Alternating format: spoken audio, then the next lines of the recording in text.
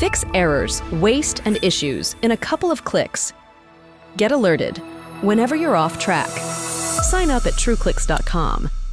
Wix Studio, the platform for agencies and enterprises to manage clients and projects with max efficiency, sharing Wix's SEO tech to help you drive growth. All right, well, good morning, everyone. Um, I like how the five second countdown started everyone just went quiet. it was quite ominous. Um, thank you very much for joining us. I hope everyone's starting to feel a little bit better from last night. Uh, I do apologise for sounding a little bit like a, a, a Sean Dyche shorted off Wish at the moment, but isn't alcohol related. But um, so welcome to the AI panel. Uh, I believe it's the second or third panel of the day, and there's a few more after this. And I'm pleased to say that um, I'm going to be doing less talking because I've actually got some really intelligent people around AI across me. So rather than me carrying on, um, I'm going to let everyone introduce themselves, and then we'll get into the topics. Irin. Uh, my name is Irin Rahman. I'm the Chief Data and Technology Officer at Wavemaker UK. And uh, my speciality has been in digital data and tech uh, for about 12 and a bit years. Too, too long, as I would like to call it. Um, and yeah, really delighted to be invited to the panel. Hello, I am Jonjo. I'm head of SEO at an agency called Boxchilli. Um, we are primarily an SEO agency, and I lead a team of uh, 11 account managers and content writers and technical people. And I did have to go onto our website about page to count them all up before I said that uh, today.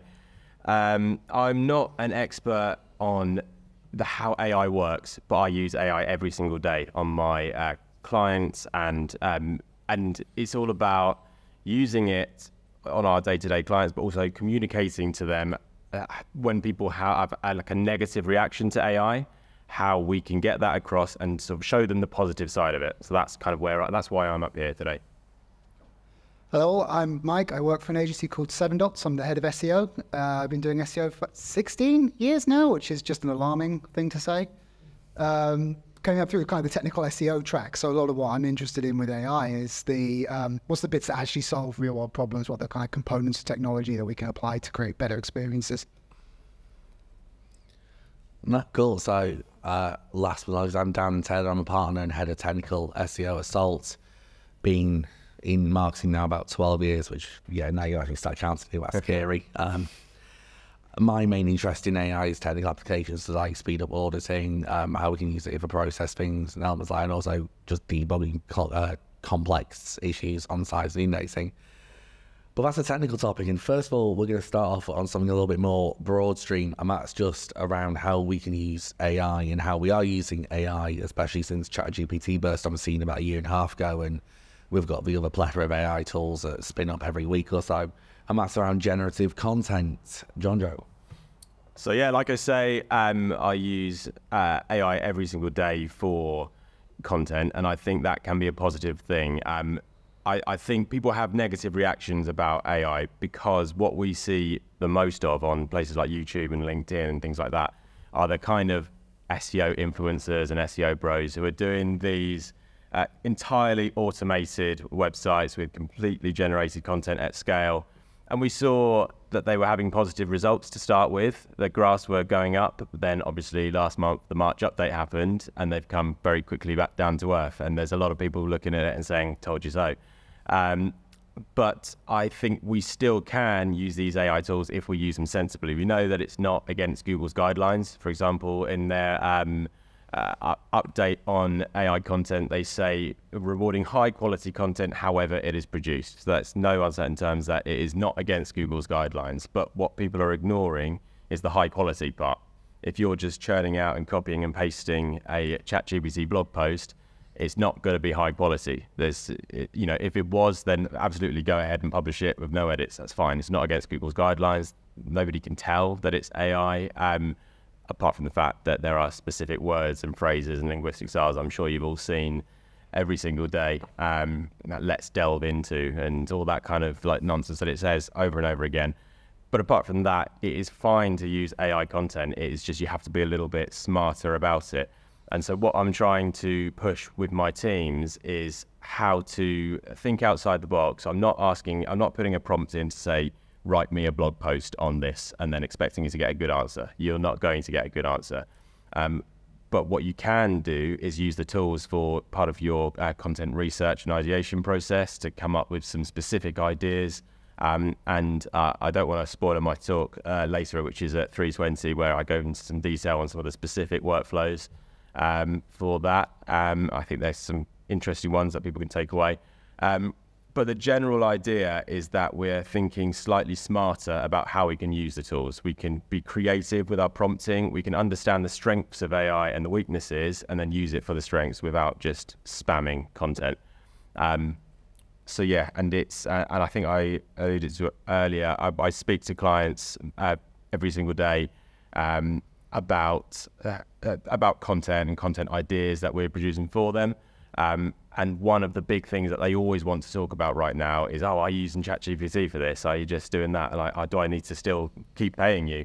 Um, and my answer is clearly yes, um, because you, you, they, you can't, you have to have somebody who understands how to use the tools. It's using it as a tool. My, one of the phrases I do say in my talk um, and every day is that I don't think of it as creating AI content. I think of it as using AI tools uh, in order to create excellent content. And it's a mindset thing. It's about understanding the way we're trying to use these tools.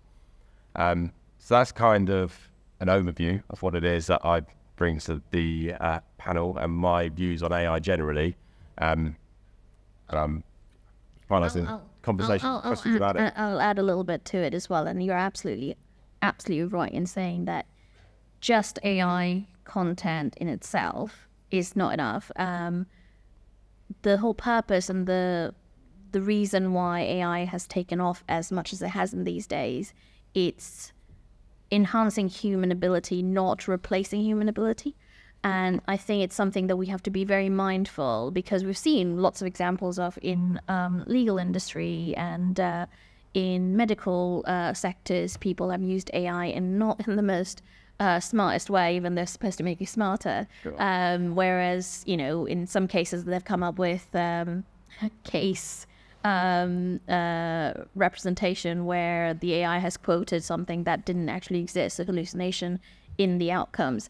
Um, to avoid that sort of um, mistakes, I think the recommendation from any AI expert is that it's not AI is a tool. It's a, like a tool, any other tool that you'd use. You'll not just use one thing. You'll use your own expertise um, to almost edit the content. So if you think of it this way, that instead of writing from scratch or doing a very manual way of okay, keyword enrich, out, you know, content right, um, you can now actually start from a place of oh, it's fifty percent done. I just need to edit it to a point where it's a very good quality content because as you say google really doesn't care who writes the content it cares about the quality of the content um, so if be keeping that in mind and incorporating AI in a more useful way in our workflow and you know mindful way in our work- workflow is always a recommendation that we put forward. So kind of just to build on where you say, obviously Google doesn't care who writes the content. Their actual official stance on this, which they published in April uh, 2023, so this is literally pre-SGE era notices, is literally AI and automation can be useful tool to create helpful content, but if AI is used for primary purpose of manipulating search rankings, that's a violation of our long-standing policy against spammy, automatically generated content. So then in relation to, obviously we saw ChatGPT, we saw the big graphs going up and then in the updates towards the end of last year, we saw them crashing down and we've seen that again in kind of March. If it isn't the AI content side, then why have sites who've used AI led on being penalised or I say penalised, why have they been impacted in such a way in terms of traffic and rankings? I think um, so. When AI came out, let's be honest. I think any SEO of a certain age probably remembers like the days when um, kind of one way to grow traffic. I think like the eHow model, when you just paid writers dirt cheap to spew rubbish out into the ether um, and then monetized it off the back end. Um, I think what happened was a lot of SEOs when ChatGPT came out were like, hey, that model suddenly works again. Because what sort of happened was the amount you made per article got less than the time it, or the, the cost of that writer.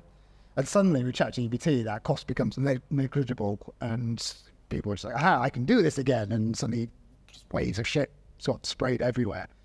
Um, I think this, uh, this isn't a new problem, right? It's just the economics sort of made it go away for a little bit, and now it's coming back. And I think that's what Google's kind of touching on is um, so long as you're creating a genuinely good experience, cool. It doesn't. They don't care about the tools. But that kind of, I'm just going to pick up a keyword and churn out stuff that's already out there and just reproduce it, and then get some spammy links and try and make a couple of quid. That's the thing that they're trying to um, clamp down. And so, if you're in a business model that looks like that, that's where I think you're in Google's um, sights a little bit that's the thing. Nothing, nothing has changed really. Their language there when they're saying uh, about using AI to manipulate the search results, that's always been the case. Creating just spammy programmatic content is absolutely it, is, is against their guidelines, and it always will be. It always has been. Um, programmatic is fine if you're creating quality content, but programmatic is uh, an issue if you're just churning out stuff for the sake of manipulating results and ranking.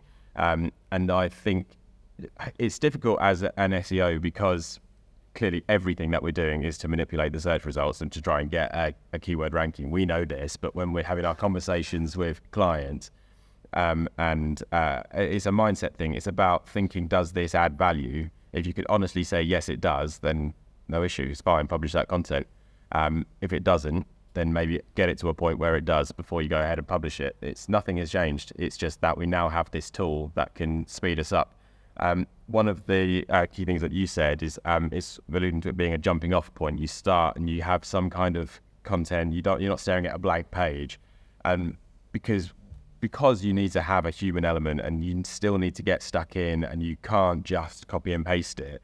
A lot of people um, have sort of said things along the lines of, well, "What's the point? Is it not faster just to write it?" Like you know, um, I am strongly of the opinion that using ChatGPT um, and other AI tools can speed you up and can give you better ideas and can uh, and you end up with a better end result faster. So we can do things that not at scale um, in a spammy way, but at scale, you know, do things just faster for our clients and give them more value.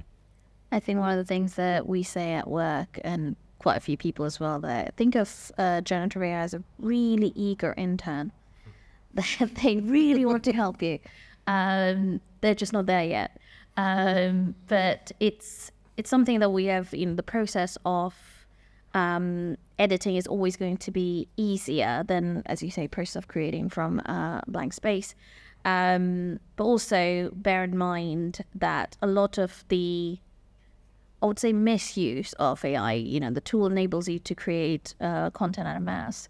Um, and one of the things that we see Google, as you say, they you know they're really um, honing in on um, curbing that. That you know the search results shouldn't become just a place of trash, um, and they are doing a lot in that space, and they're using AI to actually curb that. So it's goes full cycle. AI is creating the problem, but they're also using AI to solve the problem. So it's it's something that I find it really interesting in the sense that, you know, it's not about the, oh, AI is good or AI is bad. It's just who is wielding it is deciding whether it's used for good or bad. I think one of the other key things, I mean, which you, everyone's got to touch on, makes is how necessarily, because Google's always had these policies against spammy content. I mean, for me, when Panda first came out, that was to combat everybody using Unique Article Wizard. Apologies for anyone who could remember using Unique Article Wizard, because that was awful, truly. Um, Definitely wasn't me.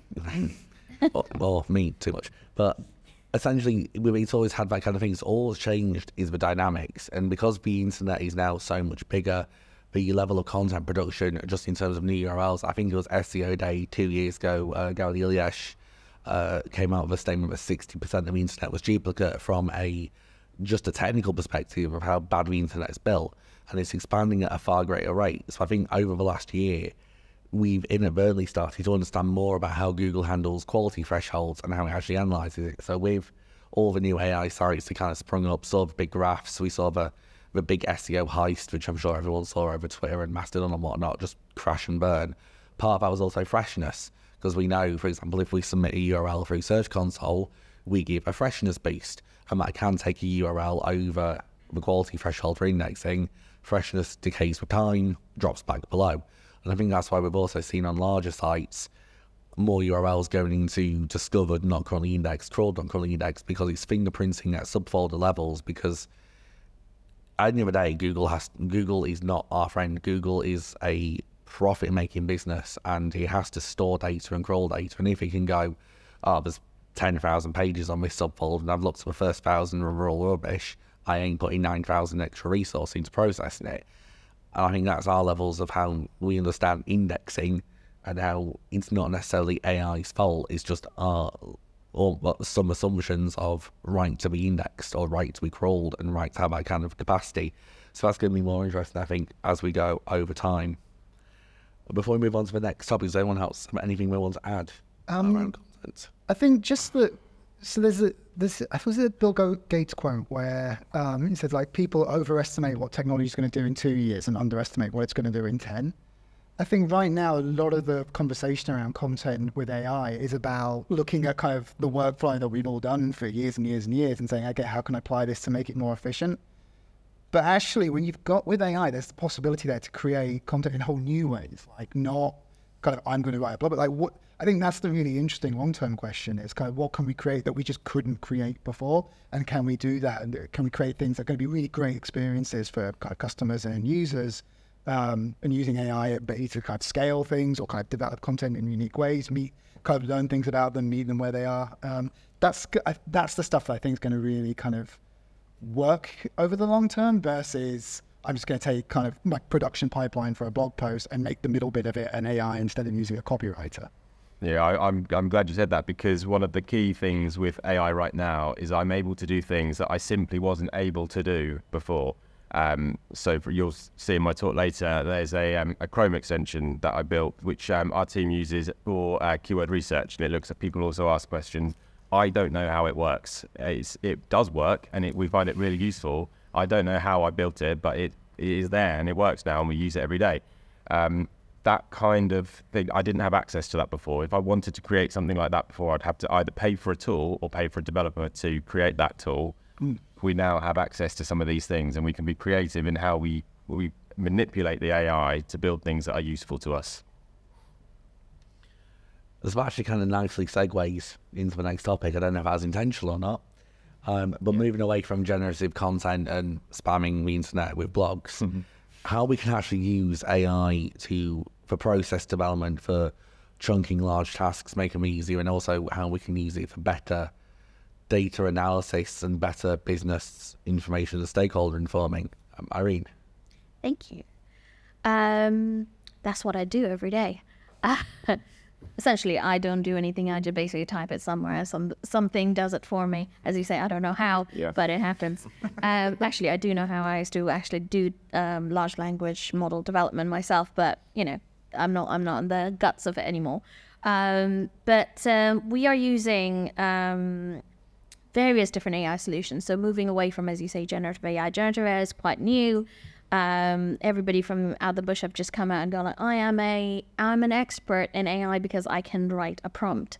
Whereas people who have been, so for example, myself who worked in developing large language model to this day, I know all the things I don't know. So I very much stay away from calling expertise on that. But the little that we know and the tip of the iceberg that we are touching right now and utilizing on our process automation, it's significantly improved our ability to do tasks that tasks that we've done previously but faster, so uh, efficiency gains, but also things that we've never done before, so creative outputs that we never would have imagined uh, doing. Um, not just the you know removal of requirement for experts for development purposes, because I can actually do plain text commands and get Python code written for me um, which I don't even, you know, I can even create an agent, agent GPT with plain text who will then review said uh, code so that I don't have to do anything. Uh, I just have to describe my output better. So all of that is available to us and how we utilize it. In an agency world, it's a little bit more utilization in the sense that we we look at the RPA side of things, so robotic process automation, which is uh, become much more prominent, but also workflow automation side of things. So our SEO team, um, Richard, who will be speaking, uh, actually speaking right now as we speak, um, is on a stage talking about how they're using it, and um, essentially it has helped the teams think of a lot more options a lot quicker and also remove a lot of the manual tasks that they would have had to do um, to, say, for example, find best keywords or find best contextual content and things like that. We're also not just sitting around um, for one, you know, siloed approach of like, okay, just for data. It's the avail- availability of various different AI solutions and integration into various different platforms means that they're all interconnected and it overlaps in a very big way in the sense that now our SEO team works very closely with all our other digital teams or even out of home teams because all the information helps understand who are the people you are communicating to. Um, and it gives us a very good 360 view. Um, one of the projects I recently worked on, which was I think I was very good in the sense that it's um, it's called an audience brain, and essentially what it does is things like a the algorithm thinks like a human being just for the topic of understanding people's behavior, if that makes sense. So, what that allows our teams, various different teams, so obviously that's a very good benefit for segmentation, but it also creates really targeted content and advises the teams on very targeted content uh, and very targeted brand content, which it would have taken our team, I don't know, several weeks to come to, you know, if it was just human being working on it. Having said that, of course, human beings are involved in um, the last uh, pass because it's not just the algorithm is just pushing it out and we're not checking anything. We add uh, about 25 to 50% um, edit on what the outcome comes in, but it's still fantastic. I can I can get an output out in four days instead of four weeks. So I, well, I know I know everyone else is other things, but I have a question yourself back about. So when you're doing 25 to 50 percent edit on the output, Yeah. how are you accommodating for potential confirmation bias or biases from the editors going into that?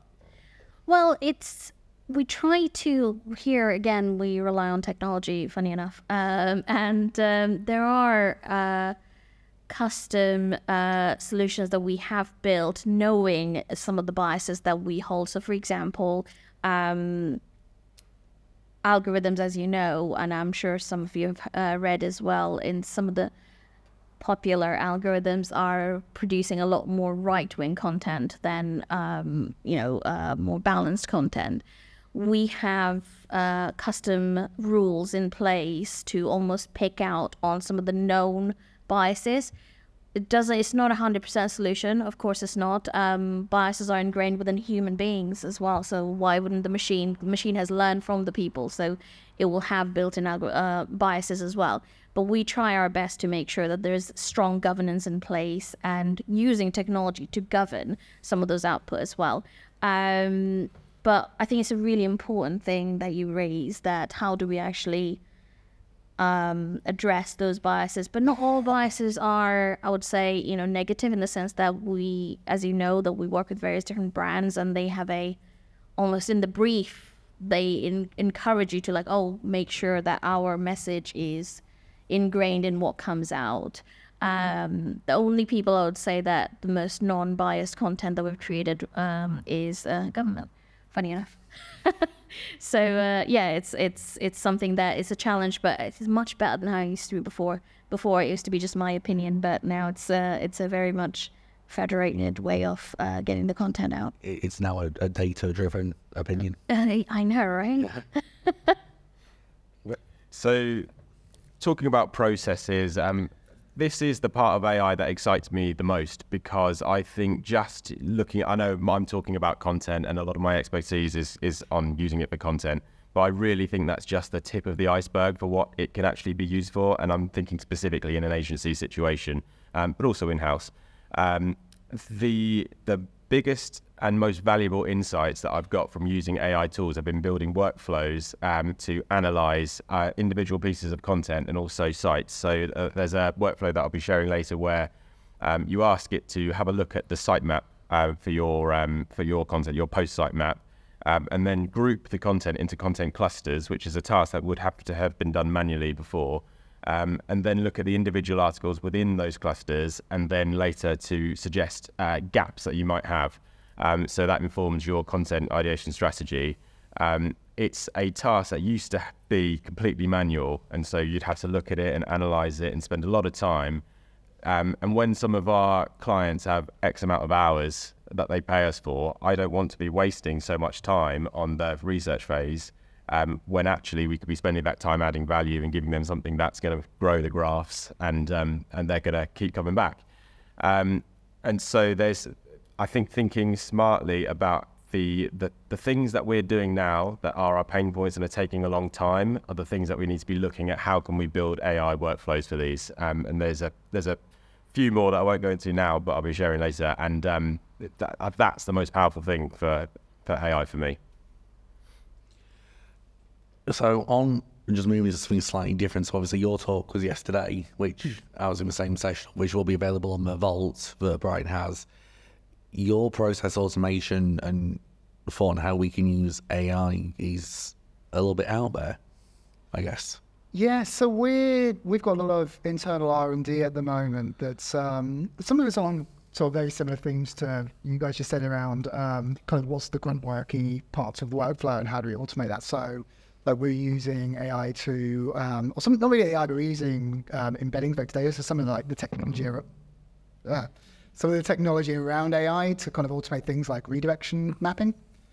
Um, and we've had a lot of success with that. It's got massively sped up that workflow. Um, I think the other things we're picking up on actually, and this is particularly looking when I look at some of the juniors and kind of how they're working, we're trying to figure out ways to kind of amplify this. Is um, computers are actually hard to use, right? Um, like I've managed to get a 16 year career out of knowing how to do a VLOOKUP. and they keep paying me, it's brilliant. Um, actually, what's, um, when, you, when you kind of look at what uh, somebody in their first, second year doesn't know how to do that, do, and they encounter a problem, uh, I'd immediately go, okay, I need to take this spreadsheet, this spreadsheet, VLOOKUP them together, do this formula. They're just going to ChatGPT and being like, hey, get this result.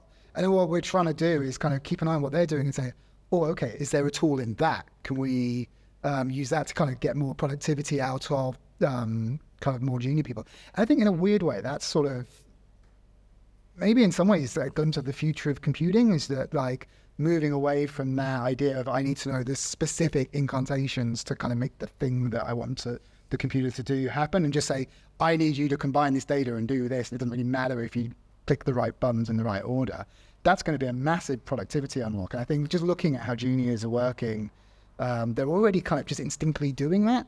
And that's something I think we're kind of very interested in, um, kind of how do we amplify.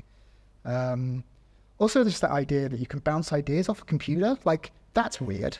Like you thought about that like a year ago, that would have freaked me out. But like watching the designers, and they're just like throwing ideas into a computer and just seeing how they look, and probably not the final piece, but just kind of like do a workflow in their mind and kind of get thoughts out of their their head and into a physical space. Like again, how do you amplify that? That's that, that's a lot of what we're we're looking at as well. Um, just to bring it to a little bit more at a personal level. So these all the process automations are great.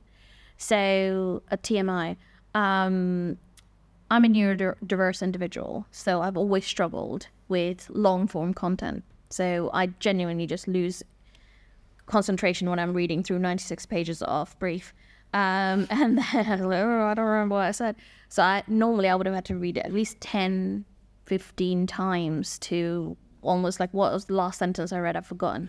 So um, that has always been a you know issue for me in school, in you know in my education, in my previous workplaces, and something that I've always had to manage myself. Whereas a lot of the tools, things which are built into the browsers and things which are just on the fingertips uh, these days. I can just upload a document and it can generalize the top five um, important points of that document. I don't have to uh, worry about have I missed something really critical or even annotations or um, meetings which are noted for you. So I, I am that person who cannot do the talking and the writing and the next thing what I'm going to say thinking. That's not me. Uh, whether I'm presenting, whether I'm listening, whether I am, you know, taking notes. I can't do them all at the same time. So all of those little things that, you know, doesn't get that much PR like things that OpenAI is doing all the time.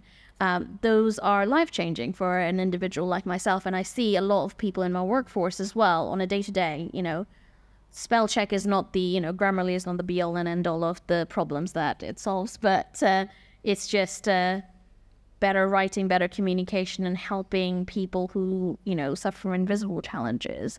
I think AI has been really, really helpful. So, you know, if nothing, that in itself is worth it for me. No, thank you for sharing, Irin. I think it's, it's yeah, there's a lot of things which ChatGPT and even what Google's showing with SGE with SGE whilst you're browsing, which I don't know if everyone's seen, as well as the wonderful whatever's going to happen on the SERP. So you can have the option in the sidebar to have SGE on the fly summarize the page you're on and also pull out the questions, answers, and hot link and all the rest of that. That's is these accessibility things as well, which is being applied to, but he isn't as I don't know, he doesn't get the same apocalyptic drama as I guess what most of these in the SEO world. So we don't give it the front page on Barry Schwartz's website. Um, so with how that is all going, I think it's also worth us just touching on, as well as like we've spoken about using things in agency, how we can use things for day analysis, how we actually make sure we're in line. So it's like how we use AI ethically and in line with policies within agency world and also in-house. So I think that's worth touching on, in especially content production as well. Sure. Yeah. Um, this is something that we've thought about. Um, uh, I think it goes back to me. Uh, it's, it's that whole mindset of creating excellent content rather than creating AI content, and we're using AI tools to help us do that. And I think as long as we have that mindset and that's the the direction we're going, I think we're kind of okay. Um, the, I think so. Congratulations to everyone in this room because you've officially made it over 12 months, and ChatGPT hasn't stolen your job. And it's I, I, think it's not going to because we still need people like me and you to manipulate these tools. They've just become part of our workflow. Um, and I, I, just think that's a positive thing. Um, there are a, a, huge amount of workflow. So, um, looking specifically at content again um, and how it can analyze um, documents and give ideas um, one of the key things that we do is um, read this article and think about questions that somebody might still have after having re- read it. And so it will give you these ideas, and you can understand what you either don't cover in that article, and maybe that becomes another article with internal links, or it becomes FAQ questions and things like that um, there's a huge amount of extra value that we can get by using these tools. It understands, it doesn't understand um, what it's talking about, but it does a very good impression that it is. And the ideas that it gives you can be manipulated by a human, always by a human, um, to make our content better. I think that's a, a positive thing. Um, my plan is to start bringing that robot dog with the flamethrower into pitch meetings as a really subtle. You should really sign this contract. I don't know if where that stands on on, on ethics. I, I, can't remember K9 being that violent, but okay. Um, so I just wildly misunderstand Doctor Who. Um, yeah. I think with the, I mean, I'm, I'm, I'm not with you. I'm not worried about um, AIs coming to take all our jobs because I think even just on a, this is less the history of technology, right? Yes, you get somebody makes something more efficient, but then companies grow and then they want to continue growing, and so that new level of efficiency just becomes the baseline. Um, so yes, and in, individuals will be doing more, but then the will be getting more success and companies will want to grow, which will create more jobs and the cycle continues. So there may be a little bit of a dip there. Um, when you look through kind of previous technological disruptions, there's usually a little bit of a kind of readjustment, but I don't think it's kind of, we're all going to be kind of bowing to our robot masters anytime soon, unfortunately, which I really want to, I don't want a pressure of work anymore. Uh, shit, but, but the, um, I think that, and that filter, that human filter element is kind of the most critical thing. I mean, we, we, we've all seen some of the strange hallucinations that um, AI can make. So just kind of, there's always going to be that role. I hope there's always going to be that role to be that filter. Um, we're going to live in a very interesting future if there's not.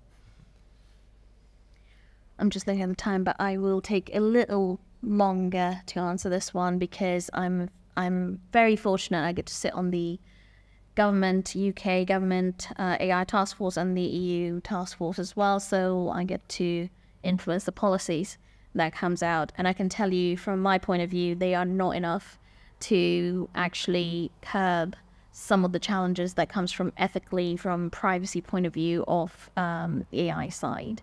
Um, just to take you back, uh, if anybody remembers, uh, 1996, there's no such thing as Google.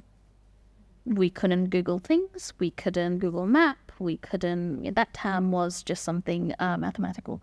Um, so things change, and when first Google uh, search came into play, there was lots of you know uh, misnomer about oh it's not gonna work oh god they're they are set you know looking through all our stuff and then you can find online and it's not gonna be great. Or there was the whole other camp of like this is gonna change the world.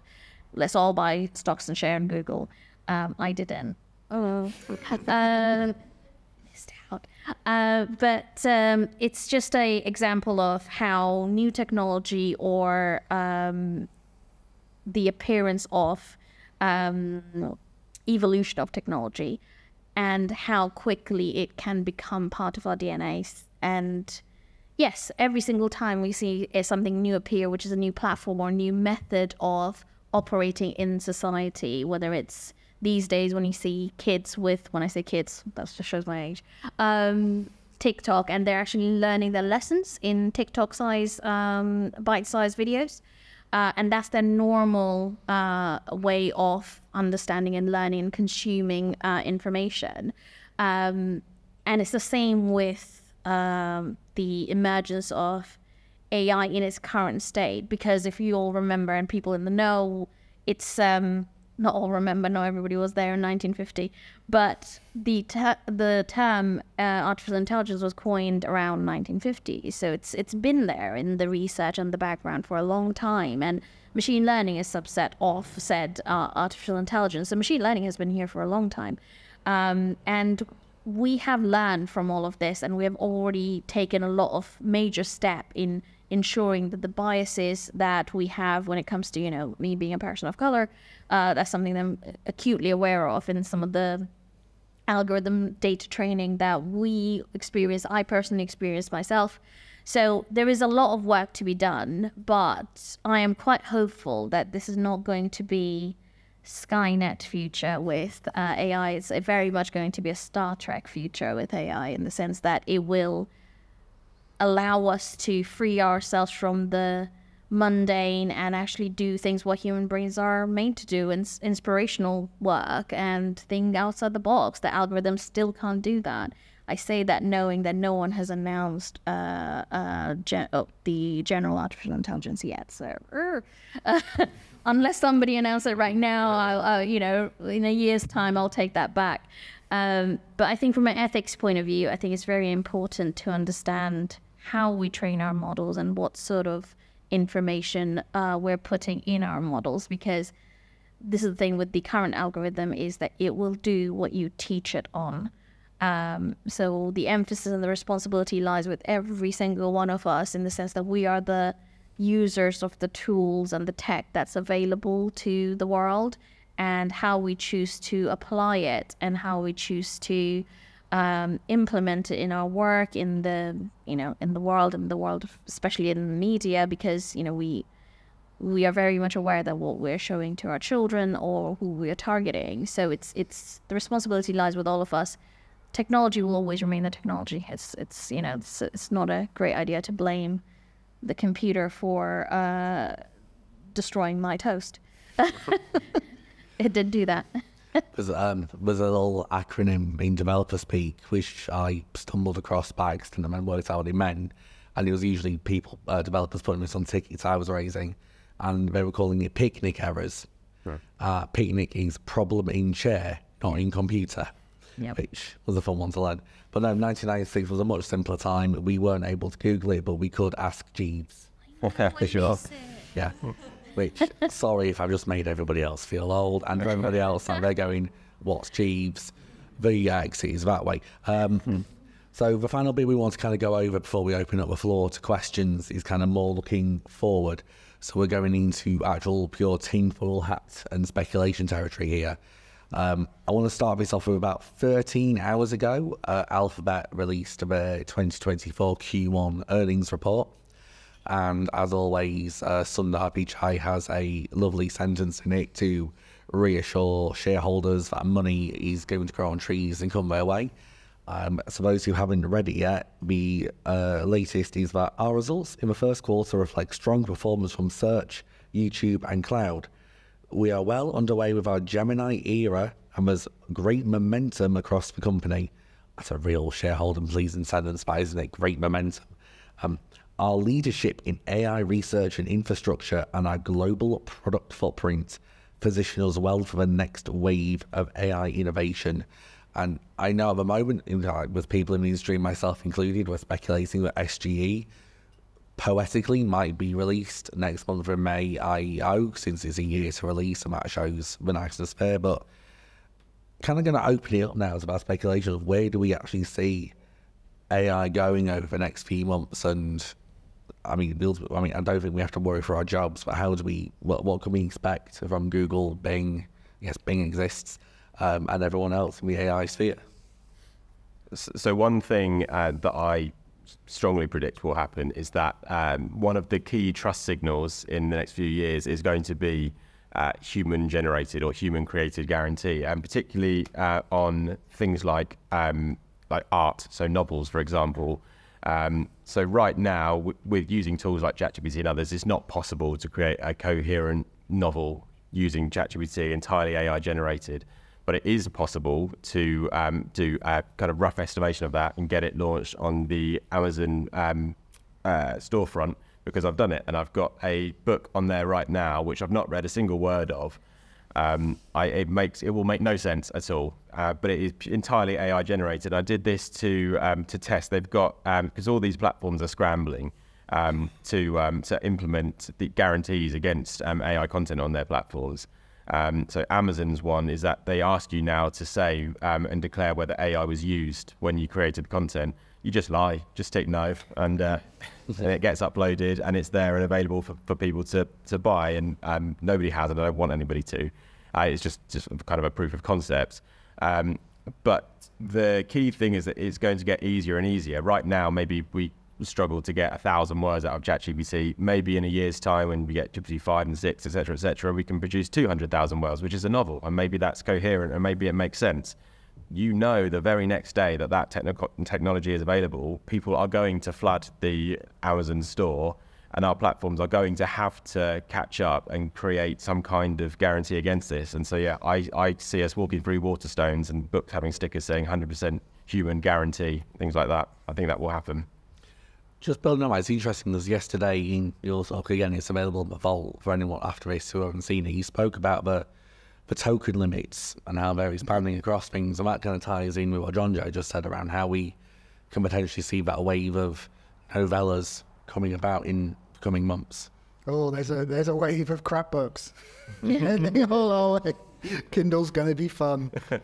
Um, I mean, I think that's just a that's a hardware limitation at the moment. It's just that that's something that um, we can kind of look at the tech roadmaps with kind of things like TPUs. Uh, they've already got plans to kind of gradually raise that ceiling. Um, so the, the, like I said, the ability to do long form documentation. I mean, I think Gemini 1.5 is already up to a million token limit. I think it is, um, and that's the point where you can just be like, "Here's my entire code base. Fix the bugs." Mm. Um, and it's, it's got a big enough context window to do that. Whereas now, if you're coding, it's like like five lines of code, and maybe it works and maybe it doesn't.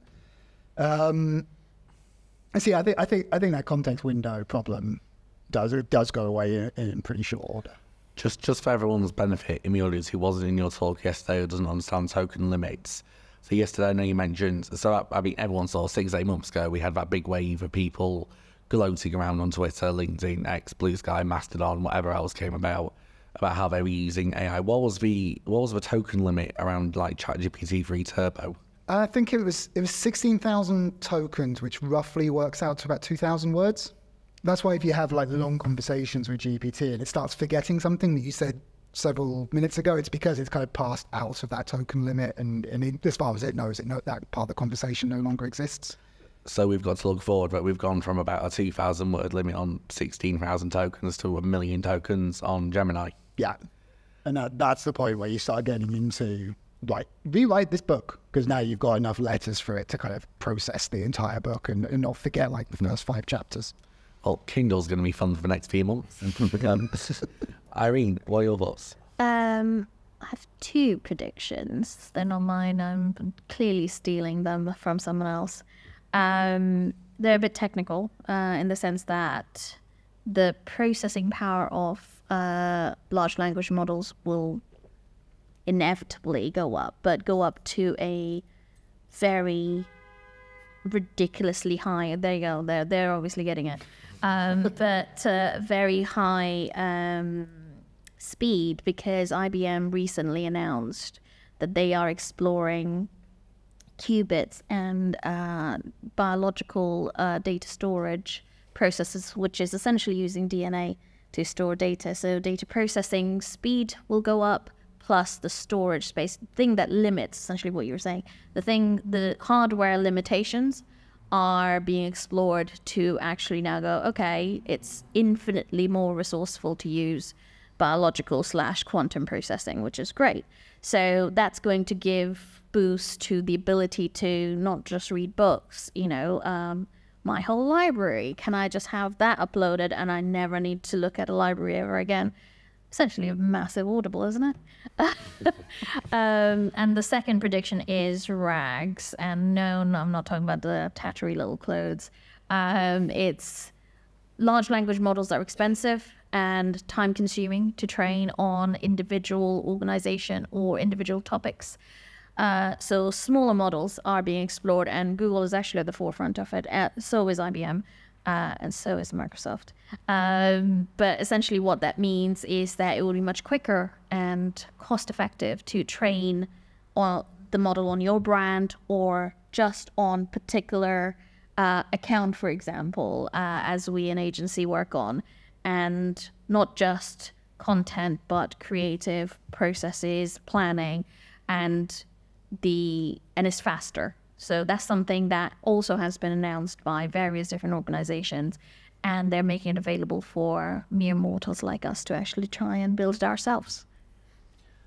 I mean, spam means now. So, with the kind of final thing, what is everyone's thoughts on SGE? Because I kind of feel we can't have an AI panel out mentioning SGE, or at least in part be the seemingly secondary conveyor belt of AI products coming out. So like virtual try on, um, the weird kind of t-shirt Tinder thing they introduced for fashion as well, um, and also the generative images for fake product shopping. What's everyone's thoughts on how that's going down? Like, do you think SGE will come out in a month's time? Do you think SGE will be phased? Do you think it'll be part of premium? Like, like what's the conspiracy theories? You go first. Sure. Um, so, uh, yeah, I think phased approach for sure. Um, I think one thing as SEOs um, uh, working on specifically on client accounts is that we need to understand how to track some of the searches and some of the uh, the data because we're going to have to um, acknowledge that we're going to be living in more and more in a world of the no-click search. Um, answers sometimes perfectly appropriately will be answered within the SERP, and um, and that's fine. Um, and so certain types of searches that we maybe traditionally would have created a piece of content around isn't going to be as relevant anymore um, in in quite the same way. Um, maybe we still want to create that content because we want to be the the you know in, in similar ways to feature snippets, we want to be chosen to be the provider of that information. But if people aren't clicking on it, then they're not seeing our call to actions and things like that. Um, so how do we track that we've created this piece of content? They've found their answer, um, and later on they buy. How do we prove that value to our clients? That's going to be the challenge for me. Um, so um, yeah, I do see it as it it will be a challenge. I think it's um, search results that don't have adverts on them. Um, I think is going to be a space that you're going to see SGE primarily on. So G- Google sells links. That's effectively 80% of their business. I don't think they're going to stop linking to, to things. But one of the, I think it's, it's Apple's fault, right? So the Apple rolls out kind of anti-tracking, um, kind of um, tracking transparency. Um, the value of banner ads falls. The publishing space, the informational kind of publishing space, um, it's it stops making money, so it's kind of forced to race to the bottom, which is why every website has kind of become basically unreadable now. Um, if you're Google, that's a real threat because what then happens is something like GPT comes in, like OpenAI, and it's like, well, this is a better way of getting kind of answering information now than something where the information like bouncing around and banner ads are getting in your way and you can't read it. Um, and then if you're like thinking marketplace, what's how does somebody disrupt Google? Well, GPT starts that, and then they start working their way down to kind of more commercial products. That's a way Google gets disrupted. So I think SGE at the, at the kind of pointy end of the funnel, it doesn't make any sense for them to, to roll out and kind of. And like generative AI for like transactional searches is a bit of a rubbish experience anyway. But in that kind of publishing space, um, OpenAI is a real threat. And then if you want to kind of protect your um, near monopoly if you're Google, you need to squash that threat. And I think that's what SGE is about, even if the business model of SGE itself doesn't make a lot of sense in isolation. Uh, SGE will be available. I mean, that's just, you know, going to happen in one form or another. Very much in your camp in the sense that Google's not going to take a cannon to their business model and go, yeah, sure. Why not? It will help everybody because, you know, Google has been known to be helping humankind. Um, but uh, it's just one of those things that, of course, it will happen. Um, but as many of us remembers when um, the whole cookie apocalypse situation was, you know, all was all the jazz. Um, it's it's just one of those things. It's just working differently um, instead of in the cookie situation or the uh, when the PIR the IDs were removed. We start looking at cohort-based uh, targeting. Um, here, we'll have to see more contextual, and more quality-based content creation, so that the content gets picked up. So it's just a different form of optimization versus the traditional form of optimization. So I'm not concerned of the future when SGE is available. I am more um, aware that there will be a change and we'll have to adapt. And, you know, humans are very good at doing that. I very much fall into the same camp as yourself. I think it's going to be a phased approach. I think will and it may also be a free and a premium approach because we have obviously Google flirting the idea of putting obviously well they charge for certain Gemini features and they charge for other products. In industries where Google has high level of confident data anyway, so e-commerce, we're feeding it all our structured data from product feeds. Uh, anything that has a local element to it, we're basically feeding it Google Business Profile data, local data. Travel, it went around 10 years ago buying loads of data off travel companies and it has its own travel guide stuff those industries where it's relatively low bandwidth. I mean, if you went to do a two day itinerary in Berlin, it can pull the data accurately from Google Business Profiles because it's got that cached. It can understand opening hours, it can understand reviews, it's got all that sentiment already boxed up. It can understand what's different, so that will reduce hallucination. And then, like, similarly with ecom, it's already doing it in the US with the filters on the side. It's got a high level of confidence. Where I think you'll start charging is potentially for people like us who go out our way and search for, I don't know, compare Beyonce's Jolene versus Dolly Parton's Jolene. That's a very off the flag thing. It's going to require bandwidth to do it. And they're like, do you know what? You can pay us a subscription to do that because that is a wasted thing just to make us look stupid. So, on my kind of note, we've got um, about this is my maths going to work out here, Ruth. I think about 15 minutes for questions. Seven minutes. Okay, great. So very whistle stop. uh, it's a good job our maths is not a part of technical SEO whatsoever. Um, so yeah, Ruth has a microphone. If anyone has any questions for anybody, please raise your hand. Hi, um, it was just a question in regards to AI content, really. Obviously, there's a lot of AI detection tools out at the moment with varying levels of accuracy. Um, if you have a piece of content that is human written, you know, and potentially like a case study or a PR, and so there's a lot of in depth information on there, it is good quality, but it's flagging consistently as very high AI. Is it still worth uploading? Is it going to get flagged by Google? You know, it, should you amend it so that it isn't? I don't. So, yeah. so uh, my perspective on this is most of those tools are pretty much junk. If they if it's saying it's um, AI generated, there's been numerous examples of things that we know are entirely AI generated, um, uh, sorry, sorry, rather entirely human generated, that the tools are flagging up as 100% AI. Um, I'm sure there's examples like Harry Potter and the Bible and things like that. Because as I say, someone put Genesis, the book of Genesis, through an AI tool, and they all flag Genesis has been AI written. So that's it. There's there's there's a novel in it somewhere, but it's not a uh, it's it's not a reality. And um, Uh, and so, yeah, I wouldn't put a huge amount of weight into those tools. If you know that the quality of the content is good and you know it's human generated, then go ahead and publish that with, with no hesitation.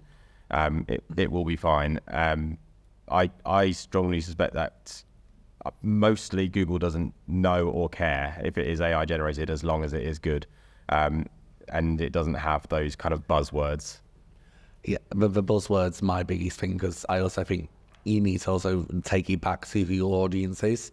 So I've read a lot. I mean, I've unfortunately read a lot of AI content. You pretty much get a feel for what is and isn't AI, especially when you start saying moreover, furthermore, uh, a, a blossoming nascent relationship and things like that. And it's like, what, yeah, but whatever.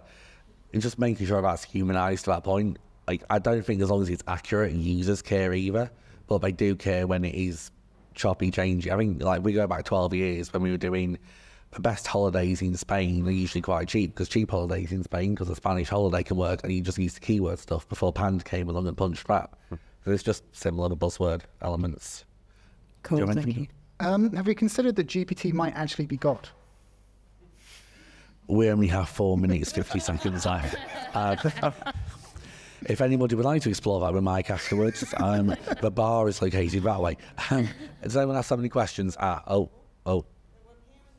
I'm going to let Ruth orchestrate. I'm going to stop managing.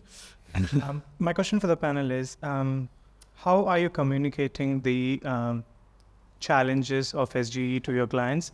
Uh, obviously, there's a lot of uncertainty, but since majority of the panelists have an agency background um, in the business, what's your action plan? How do you communicate to your clients about the challenge?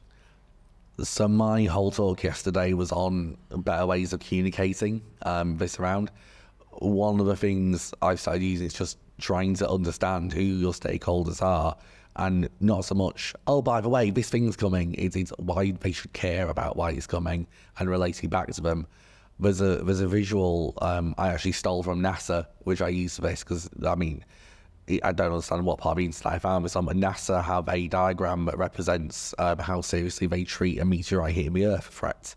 Um, it's called a Torino scale, and I've just modified that. And now I put like, oh, Google's, I don't know, sneezed. The dot goes here. Google's rolling out SGE. Yeah, it's probably somewhere around there. And that just visually helps communicate uh, if it's going to be a page level, domain level, and likelihood. So there's multiple ways to, but ultimately stakeholder management and just being able to better relate it because your CFO of your client doesn't care if I know there's going to be some new fancy SERP. I mean, Google calls it SERP decoration. There's going to be some new fancy SERP decoration on it. What they care about is how that's going to impact sales bottom line. So that's how you tie it back. So the CMO probably will care about that, but they more care about their other KPIs. So it's that mapping process. I think that is exactly it in the sense that the client cares about the outcome, not how you get there. Most of the time, I would like them to because they're re- it's a really smart way of getting there. But they're very much uh, in the in the mindset of that is it going to hurt my business or is it a good thing for my business? And are you prepped? As long as we can convince them of that and that usually comes with measurement data and testing and also honesty is the best policy. Just tell them of the you know what you know. Most of us still don't know if it's you know when the when it's going to be impacting uh, the search uh, world. So it's like you know that that that is the truth and just keep them abreast of what's happening. Great to know. Thank you I mean, we've got just over two minutes left. We will be hanging around afterwards as well. Hello, yeah, thank you. So, um, a lot of the talk these days with AI is uh, talking, is just discussing around what AI can't do yet. So, you, get a lot of arguments to say, uh, AI can't do this, therefore I still have a job. AI can't do this, therefore I'm going to open up a business and just do whatever the gap is. So, I think that well, my question to the panel is, if if you could look into the future for you know because you, you all have a great expertise in this. So what are the gaps that you think ai will f- what are the ai gaps that you think will be filled in the in the near future? Therefore what would be the skill set that you would recommend we spend more time on as marketeers uh, in order to ca- still continue bringing value to our businesses or our, our clients? I'll take that one. I am passionate about that one. Um, I would my recommendation to our colleagues, clients, or who anybody who asks that, you know, what is going to be in the distant future, not the eighteen months, but the five years. Uh, anybody who can confidently can predict that, you know, grab them, lock them up because they are essentially the golden goose. Um, but more importantly, based on our understanding of how things are developing, um, I would say learn to brief better. That's probably the most important thing because that's where most of the time a lot of the complaints that we hear about oh ai can't do this uh, it doesn't really understand it doesn't really you know speak like a human being. The whole point of ai being able to generate these sort of uh, in you know good quality information is when you can actually ask it the right questions. And that's going to remain if as long as ai needs to engage with another human being there needs to be a language that it engages with and we would say to all marketeers non marketeers, anybody who's engaging with AI, learn to brief better. Yeah, per- perfectly answered with 10 seconds left before Ruth starts throwing things at me. So, as we wrap up, I just want to thank Irin, uh, Jonjo, Mike, and yourselves for being here for this recording. We will be hanging around afterwards I'm Epic Zero um, just to kind of answer any questions you may have. But thank you very much for being here listening.